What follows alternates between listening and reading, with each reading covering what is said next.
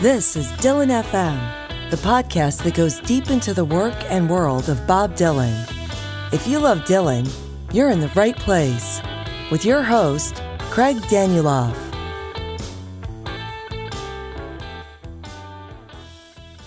For 25 of our last 26 episodes, we talked about Time Out of Mind.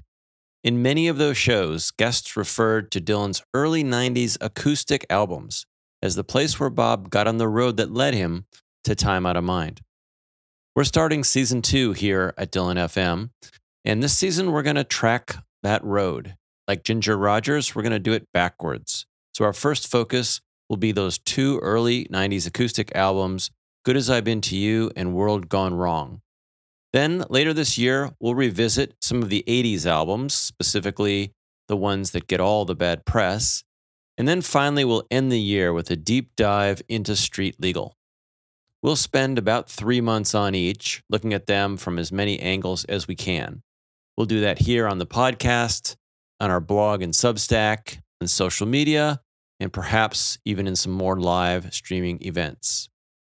Like last season, when we went deep on Time Out of Mind, there will be a lot of free shows and free posts for everyone to enjoy. But we're going to increase the percentage of our stuff that's exclusively for paid members and subscribers.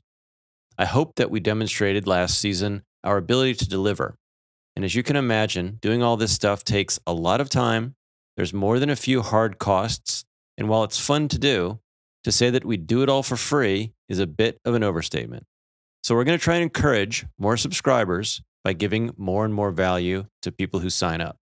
If you like what we're doing, please see the show notes and learn how you can join or support us. There are more ways than ever, including, by the way, a scholarship program. So anyone that really wants to hear all this but can't afford it can do so.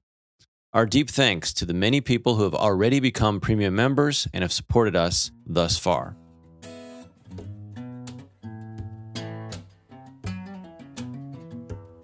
One way to more fully appreciate Dylan is to sometimes zoom in real close and sometimes pull back and look at the big picture. In episode two of season one, we offered one oversimplified way to look at Bob's entire career. In that, phase one is the insanely productive period of incredible success that lasted 16 years from 1961 to 1977. Phase two followed that with a long stretch of time where not everything he did was received with the same universal acclaim. This is 18 years between 1978 and 1996. And phase three is what happened from 1997 onward, which Jochen Markhorst proclaimed in the episode he was on last year when Bob became an old master and once again enjoyed broad acclaim and endless accolades, a period which continues today. On this map of the world, we're spending this season in the middle phase.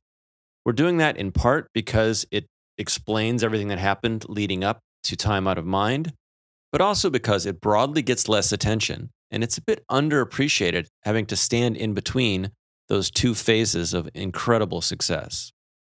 Let's start in 1991. In some ways, I think this is where the campaign to restore Dylan's image began. I'd separate that from his artistic resurgence, of course, but I think the public image sets the stage for the artistic process that came later. So I think it's important. There are two key events in 1991, an otherwise not very eventful year in Dylan's life. The first was the Grammy Lifetime Achievement Award that he got in February, which, if it already hadn't existed, might have inspired the phrase, you find out when you reach the top that you're on the bottom. Normally, getting a Lifetime Achievement Award from the most visible organization in your industry would be a milestone, an accomplishment, something to be proud of, and it would bolster a reputation. But serious Dylan fans know that Bob was just 50 years old, and it's an award that's usually given when you've made your contributions, but not much more is expected of you. And perhaps the record company pushed for it at that time because they didn't expect much more. Dylan gave a memorable performance and gave a memorable speech, but they were not crowd pleasers, and quite a few would say they were disasters. But let's look at it another way. For people who aren't serious Dylan fans, who don't know what he's saying or what he said that night, the social and institutional message of getting that award was in a way the start of a public rebuild. What we always hear about Dylan in the 80s was that he was broadly in the popular press and in the general music market forgotten and considered a has been. But they don't give Lifetime Achievement Awards to forgotten has beens. They give them to beloved and transformative people. So, in the long march to create the Bob Dylan that he would become again, in the broad public eye, this was an important first step. And what happened the very next month? The bootleg series, volume one through three, was released. It's really too bad it didn't come out a month before the Grammy Lifetime Achievement Award. Imagine the buzz in the room if everyone had had a few weeks with that incredible box.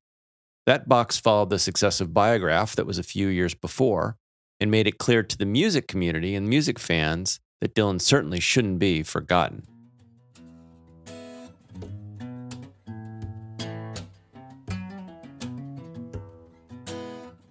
A few months later, in June of 1992, Dylan went into Acme Studios in Chicago with David Bromberg with the intent of cutting an acoustic folk album.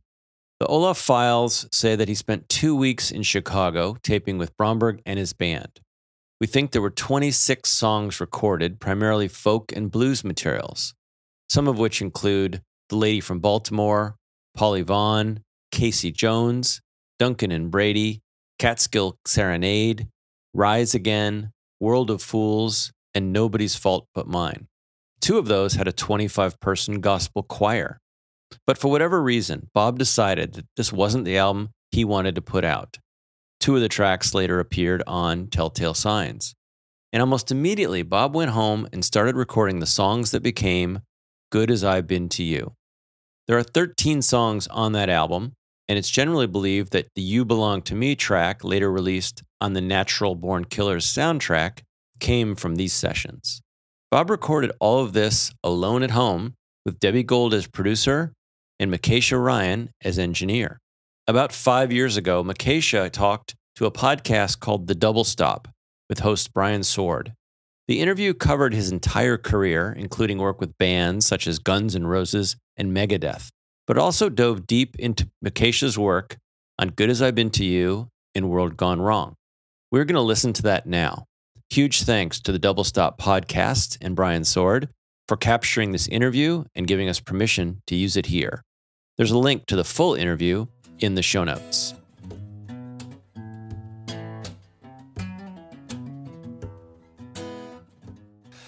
Now, in the early 90s, you also had the opportunity to work with Bob Dylan a couple times. Yes, I did. Now, tell me about that because that sounds absolutely fascinating. That was, I'll tell you what, I mean, okay, Debbie Gold was my manager. And uh, Debbie Gold, she passed away earlier this year, and uh, it was very sad. She died of uh, lung cancer. I go and meet Bob and start working with him, record a couple of songs, and and uh, he says to Debbie, he says, I really like this guy. I want to make a whole record with him. It's like, oh, okay. So, um, so it ended up that I started, did the whole record with him and we, we worked for three months. That, that record, Good As I've Been to You, is that was the most fun record I ever made in my whole life. I had more fun making that record than any other time. Debbie Gold and I had a ball doing it. Deb, uh, I think Bob had a ball doing it. He just had a lot of fun. It was an amazing experience. We did it in, in Bob's garage. And uh, so I drove out to Malibu every day and went to Bob's garage and, and recorded recorded this record in his garage and and it was just an amazing experience. It was just uh and we just had this really relaxed. It was me, Debbie Gold, and Bob Dylan in his studio in his house, and he would, you know, take a break and he'd go into the house and or he'd go outside and smoke a cigarette or he'd smoke a cigarette in the in the studio, which we did at that time. You know, we nobody smokes in the control rooms anymore, but I, I was, you know, he he would smoke in there and and uh, he was he was great. He taught me some of the greatest re- lessons ever in my life. It was just um, he was the most intelligent guy I ever worked with, and uh, as you can tell, I'm a huge fan of Bob. I think Bob is an awesome guy, and uh, yeah, he. I don't know how much you want want me to tell you about that, but there were some amazing things. Take as much as I can get because it's brilliant. Well, I'll I'll tell you the, the one story that makes the biggest impression on me even to this day. Sure. And he uh, he would he would record. He'd do a song and he would record take after take after take after take of these songs. And these songs were other people's songs, so he was very very vigilant about doing another person's song, doing it justice. So he'd do take after take after take after take, and you know he he'd do it in every key imaginable, every tempo. He'd do it in every every voice. He would try every different thing. So so we're getting to the towards the end of the of a reel of tape, and he says. uh he says, "Hey, Micajah, uh, you, you have room for another take on there?" I look at the tape and I'm going, "You know, yeah, sure, sure, Bob. We got another room for another take." And he goes, "You sure you got room?" I go, "Yeah, I'm sure."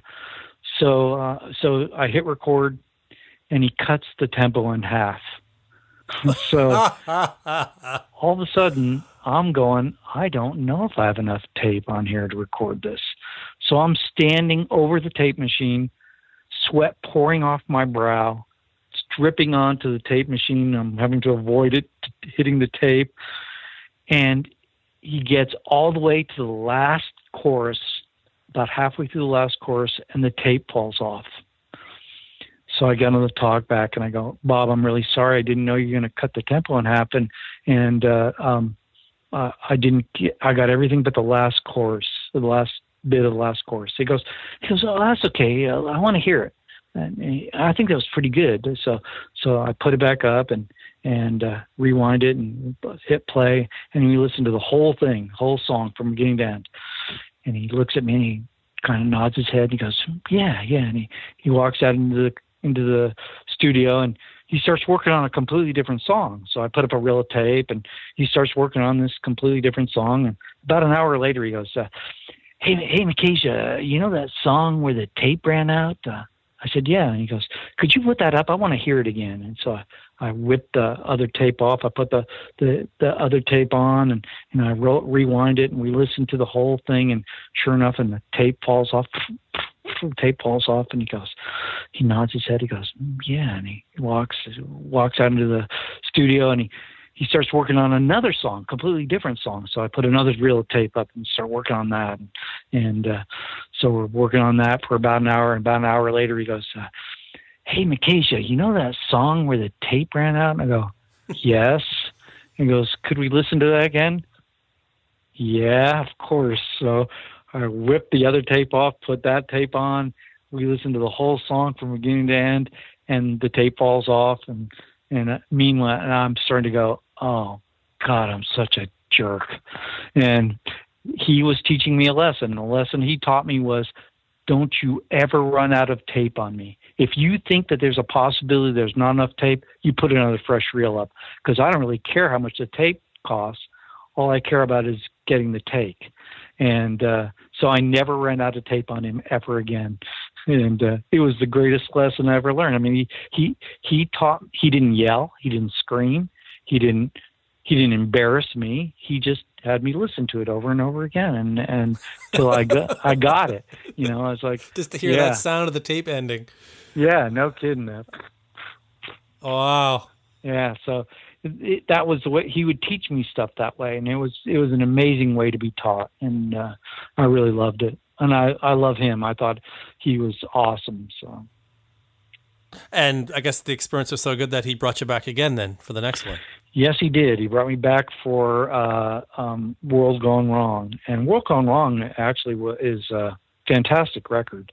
Good as I've been to you is not as good a record as as World Gone Wrong, and, and the bottom line is, um, really, the honest truth is, Bob did an awesome pro, awesome job on everything he did. It was me. Uh, I just wasn't a good enough engineer to make that the kind of record he wanted to make. He wanted to make a really rough, raw sounding record, and I didn't know how to do that and feel good about it. And so I didn't do it, and uh, I feel really bad about that. I regret that uh, to this day. Uh, but I'm really thankful that that record did come out World Gone Wrong came out as good as it did. It actually won a Grammy, uh, Best Folk Album of the Year, and uh, those songs were amazing songs, incredible. And Bob's performances were just breathtaking. Um, it was like having him give me a concert every every day for like three months. You know, sing just for me and just for Debbie Gold. You know, pretty breathtaking. Um, uh, and I've talked with other people who've had experiences with Bob and produced stuff for Bob, and they they've looked at me like, "What are you talking about? Bob never does that. You know, he never takes twenty takes of a song. He does. He gives you one, maybe two takes, and that's it. And it's like, and you're done. And it's like, no, with Bob, when I worked with Bob, he did like there one there was one song we did 60 takes of one song before he finally got crap. it right. Yeah, it was amazing. Uh, I really got it. I really understood. Uh, I don't know if I understood Bob. I don't think I. Yeah, I don't know who does, but but I got it. I got where he's coming from and why he's considered such a great guy and why he's such a great artist and a great performer and and uh, a great writer. And, and so you know it was it was pretty awesome. And and Debbie Gold was the one Debbie and he were friends uh for years. She worked for him for years and uh, she was the one that got me that gig. So um, I will always be thankful to Deb for that. So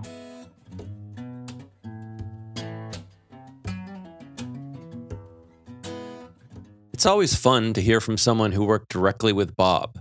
And I think the clarity we get here about the amount of Good As I've Been to You outtakes is incredible 60 takes. Wonder which song that was. If we look at Dylan's schedule that year, there aren't any three month breaks where this could have taken place. There's a month from mid July to mid August, and then a few weeks of touring, followed by another three weeks free starting in mid September. So that's likely when all this happened.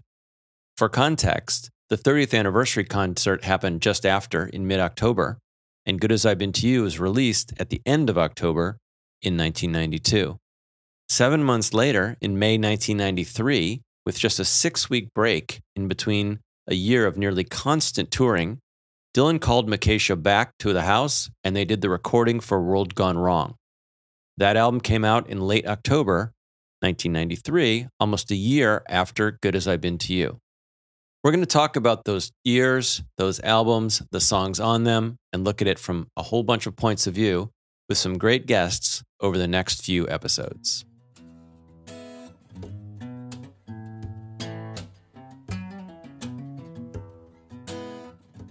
Before we talk, however, in 2023 about these albums, I wanted to look back and see what reviewers thought of them at the time they came out. That's all we have time for here, but the extended version of this episode has more of the Micajah interview and a look back at the original Good As I've Been to You reviews. Here's a sample of what subscribers can hear in the extended episode. On Good As I've Been to You, we hear Dylan as he is now, playing material that is worth communicating. Dylan inhabiting the first person narratives as if he's lived them twice. An album of covers, not goofy and detached like Self Portrait, or quirky and wildly uneven like Down in the Groove, but affectionate, modest, intimate, and committed. Little Maggie turns to alcohol as a temporary solution to her relational troubles. Two men violently beat a pair of army recruiters after being verbally threatened in Arthur McBride. Even more than that, the album's intimate, almost offhand approach suggests what it would be like to sit backstage with his Bobness while he runs through a set of his sometimes favorite old songs. These are clearly powerful reviews, and this is just a sample. It shows that what Dylan did in his garage was significant and perhaps tells us something about how that album and the next one put in the base that he could build from. Did you know there's an extended version of the show? Subscribers get a private feed that delivers extended episodes, often two or three times as long, plus bonus episodes. Join us as an FM Plus or premium subscriber and get access to the private feed for this podcast and every FM Podcast Network show. See the show notes for links and details.